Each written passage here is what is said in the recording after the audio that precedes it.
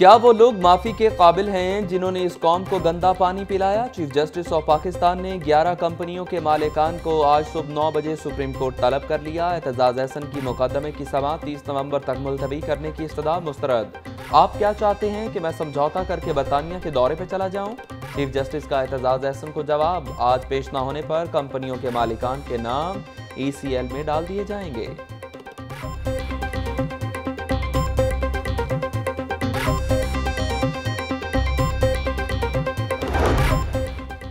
Helmet پہننے کی پاسداری، کس کا کام، کس کی ذمہ داری؟ پیٹرول کو ہیلمٹ سے مشروط کرنے کی تجویز اچھی ہے، لیکن عمل درآمد نہیں ہو سکتا۔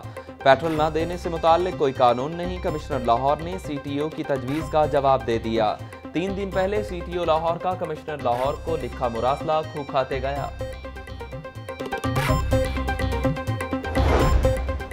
شہر کے اٹھارہ بڑے ہسپتالوں میں سے سترہ کی emergency digital X ray machine سے محروم۔ دہائیوں سے سادہ ایکس رے مشین درست تشخیص کرنے میں ناکام، ریزلٹ صاف نہ ہونے پر مریض کے علاج میں مسلسل کوتاہی۔ ڈاکٹر مریضوں کو پرائیویٹ ایکس رے کروانے پر مجبور کرنے لگے۔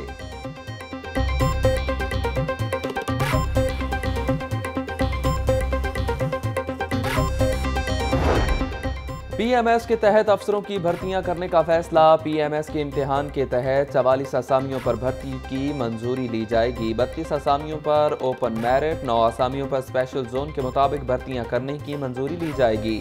پنجاب حکومت نے مقابلے کے امتحان کے لیے پنجاب پبلک سروس کمیشن کو مراسلہ بھجوا دیا۔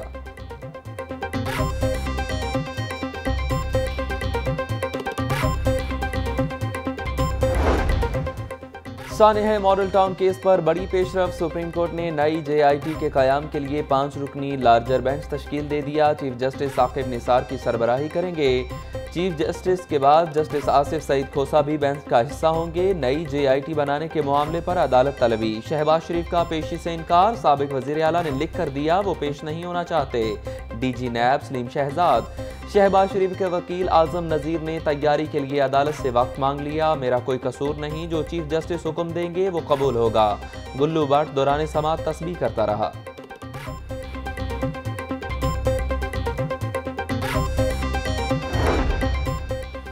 سانحہ ماڈل ٹاؤن کے متاثرین کا سپریم کورٹ کے باہر مظاہرہ۔ خواتین اور بچوں کی بڑی تعداد بھی شریک۔ عدالت کے باہر شدید نعرے بازی۔ مظاہرین کی چیف جسٹس آف پاکستان سے انصاف کی اپیل، لارجر بینچ بنانے کے فیصلے پر عوامی تحریک کے سربراہ ڈاکٹر طاہر القادری کا خیر مقدم۔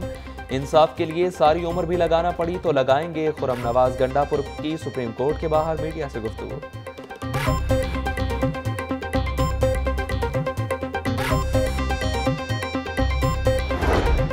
کس افسر نے نیب کو کتنی رقم واپس کی؟ لاہور نیوز نے سراغ لگا لیا۔ پبلک سیکٹر کمپنیز کے بیوروکریٹس نے مجموعی طور پر تینتالیس کروڑ اسی لاکھ روپے واپس کیے۔ قومی احتساب بیورو کو واپس کی جانے والی رقم کی تفصیل صرف لاہور نیوز پر۔ سب سے زیادہ دو کروڑ تراسی لاکھ اکاون ہزار روپے وسیم اجمل چودھری نے دیے۔ ناصر جاوید نے دو کروڑ سات لاکھ ستر ہزار روپے نیب کو واپس کیے۔ ڈاکٹر سہیل انور نے ایک کروڑ بیس لاکھ چھیاسی ہزار۔ اکبر ناصر خان نے ایک کروڑ پانچ لاکھ پچانوے ہزار۔ علی سرفراز حسین نے ایک کروڑ ننانوے لاکھ سترہ ہزار نیب کو واپس کیے۔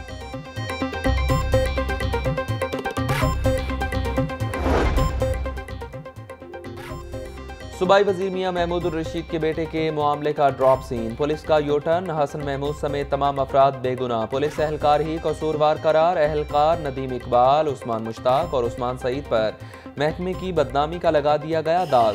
بیس ہزار روپے کی رقم چھینی اور مزید پچاس ہزار روپے کا مطالبہ کیا۔ تمام اہلکار عادی مجرم ہیں۔ اہلکاروں کے خلاف ایف آئی آر درج ہوئے۔ گرفتار۔ اسپیشل رپورٹ بھی تیار۔ نوکری سے برخاست کرنے کی سفارش۔ ذرائع کا دعویٰ۔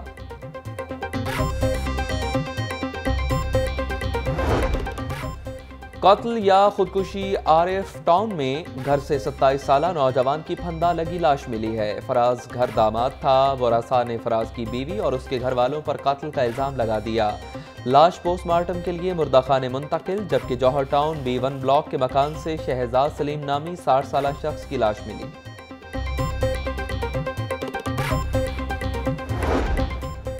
کئی نئی فورسز کے قیام کے باوجود بھی سنگین جرائم کی وارداتیں کم نہ ہو سکیں۔ رواں سال صوبے بھر میں اغوا برائے تاوان کی پینتالیس وارداتیں۔ کئی بچوں اور خواتین کو اغوا کر لیا گیا۔ صرف گھروں میں بارہ ہزار سے زائد ڈکیتیاں، ڈکیتی مزاحمت پر ایک سو چونتیس بے گناہ شہریوں کو قتل کر دیا گیا۔ کاریں اور موٹر سائیکلیں چھیننے اور چوری کرنے پر پندرہ ہزار سات سو چالیس وارداتیں بھی ریکارڈ ہوئیں۔ مسافر خانوں کی تعمیر میں پیپرا رولز کی خلاف ورزیاں، لاہور نیوز کی نشاندہی پر پنجاب پروکیورمنٹ ریگولیٹری اتھارٹی نے ایکشن لے لیا۔ ٹینڈر سے قبل ریلوے اسٹیشن مسافر خانے پر تعمیر شروع کرنے پر پیپرا نے ایل ڈی اے کو نوٹس جاری کر دیا۔ ٹینڈر جاری کرنے کے پندرہ دن کے اندر ہی تعمیرات کا آغاز کر دیا گیا۔ بڈ کھلنے اور جمع کروانے کی تاریخ میں مبینہ خلاف ورزی کی گئی نوٹس کا متن۔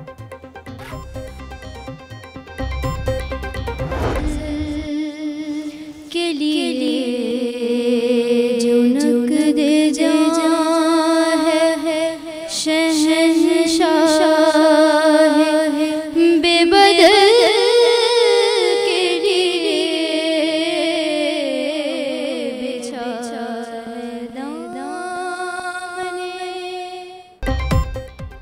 اور پنجاب گروپ آف کالجز کے زیر اہتمام دو روزہ سیرت النبی کانفرنس طالبات کی جانب سے بارگاہ رسالت میں ہدیہ نعت پیش کر کے سمابان دیا گیا۔